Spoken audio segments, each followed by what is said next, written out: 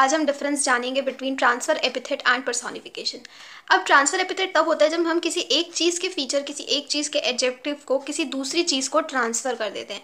जैसे कि intelligent answers answers intelligent नहीं है, बल्कि वो पर्सन जो आंसर्स दे रहा है, वो इंटेलिजेंट है।